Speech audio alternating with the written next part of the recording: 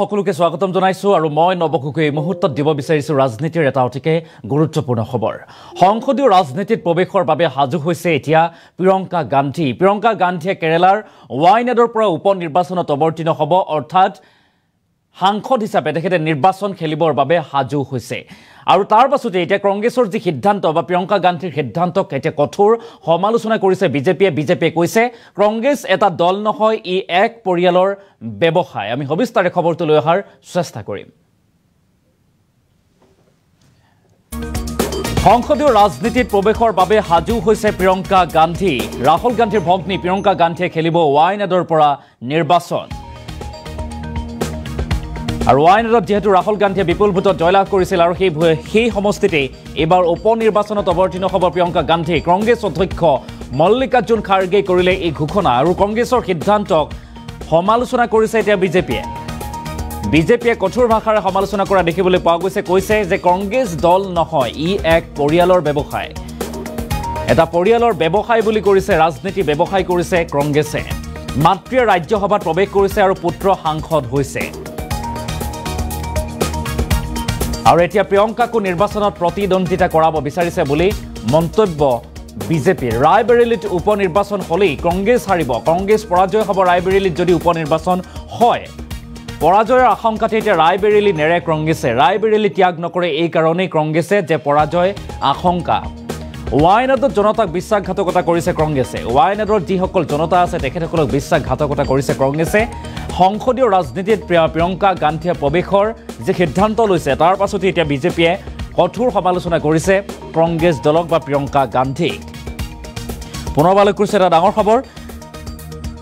যিহেতু ৰাহুল গান্ধীয়ে লোকসভা নিৰ্বাচনত ৱাইনাড আৰু ৰায়বেৰেলী দুটাকৈ সমষ্টিত প্ৰতিদ্বন্দ্বিতা আগবঢ়াইছিল আৰু দুয়োটাতেই বিপুল ভোটত জয়লাভ কৰিছিল ৰাহুল গান্ধীয়ে।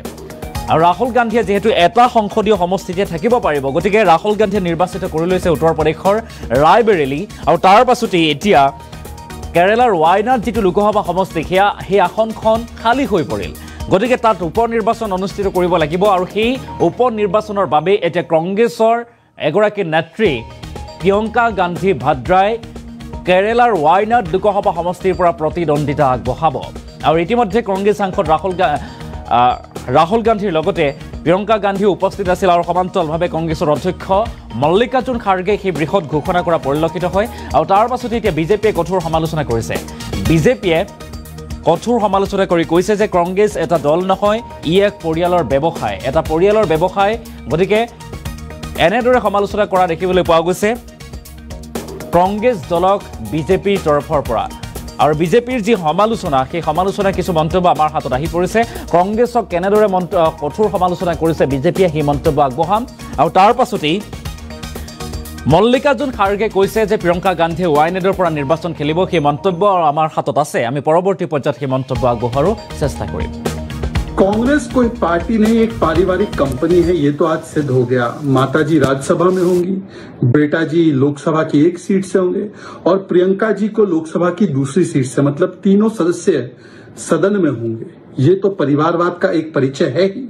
परंतु एक बात और भी स्पष्ट हो गई। राहुल गांधी जी ये समझ गए हैं कि जो जीत तो इनको मिल गई है उत्तर प्रदेश में कुछ सीटों पर, समाजवादी पार्टी के वोट के बल पर अब वहाँ पर उपचुनाव कराने से उनकी सीट पर खतरा आ सकता है, क्योंकि वो जानते हैं कि वो वोट फिर से मिले ना मिले, और वहाँ पर भारतीय जनता पार्टी तुरंत चुनाव के बाद फिर से मज़बूत हो चुकी है। तो इसीलिए उत्तर प्रदेश में कोई रिस्क लेना नहीं है तो बहना को केरला भेज दिया, वायनाड भेज दिया, और वहाँ की सीट छोड़ दी। पर ये वायनाड की जनता के साथ कितना बड़ा धोखा है, सोचिए।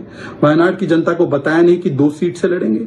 वहाँ पर लेफ़्ट के ही लोग कहते रहे एनी राजा कहती रही कि ये तो पलायन कर जाएँगे चुनाव के बाद, और पलायन कर गए। तो ये लेफ़्ट के और केरला की जनता के साथ कितना बड़ा धोखा कर दिया है, ये इसका भी एक परिचायक है।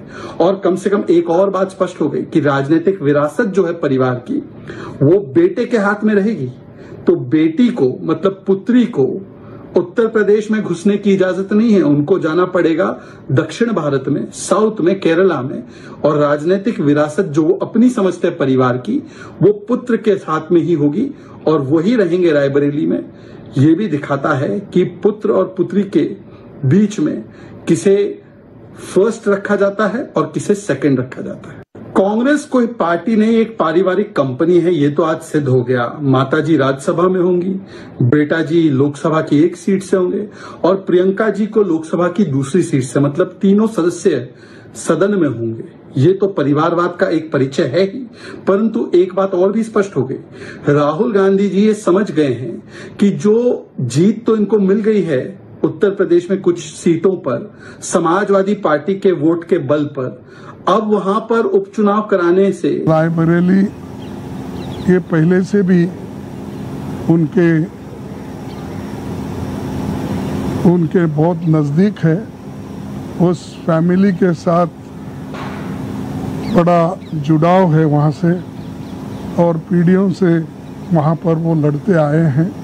इसीलिए वहाँ के लोगों का भी कहना है और पार्टी के लोगों का भी कहना है कि पार्टी के लिए ये अच्छा होगा कि रायबरेली सीट वो रिटेन करे। और इससे महत्वपूर्ण जो है, जो वायनाड सीट पे वो लड़े हैं, वहाँ के लोगों का प्यार भी उनको मिला है।